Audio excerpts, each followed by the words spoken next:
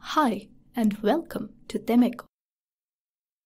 In this video, we will look at different spring system configurations and learn how to calculate the equivalent spring stiffness coefficient when in presence of these apparently complex systems. At the end of the video, we expect you to have a clear understanding of the differences between series and parallel spring configurations and how to reduce these systems to an equivalent system composed of one spring and one mass. Ready? Let's do some math. Let's bring in our friend, the spring mass system. It is clear that the stiffness of the system is the one represented by the only existing spring. Pretty easy, isn't it?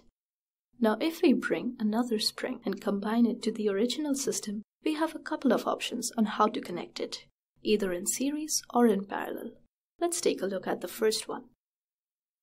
In series, one spring is attached to the other sequentially, allowing them to experience the same force but undergoing different deflections.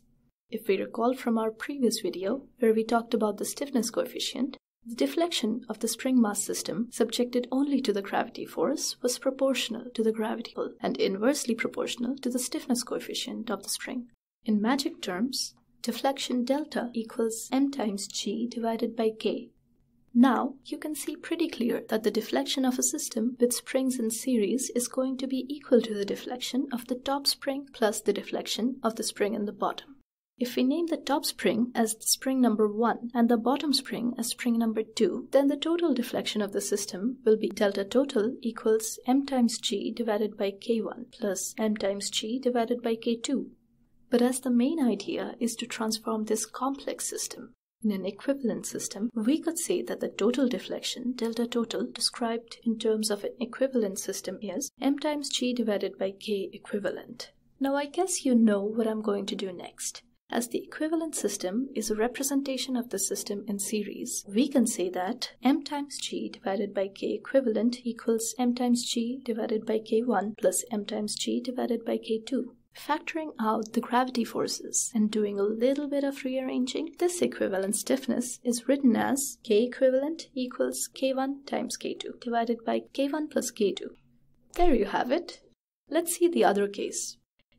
In parallel, each of the springs support part of the force, but both springs undergo the same deflection, that is, m times g equals f1 plus f2.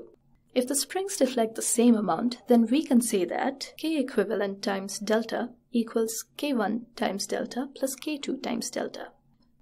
And just one little piece of math more. In parallel systems, k equivalent equals k1 plus k2. Now you have all the information needed to say if a spring system is in series or parallel and how to determine the equivalent stiffness coefficient.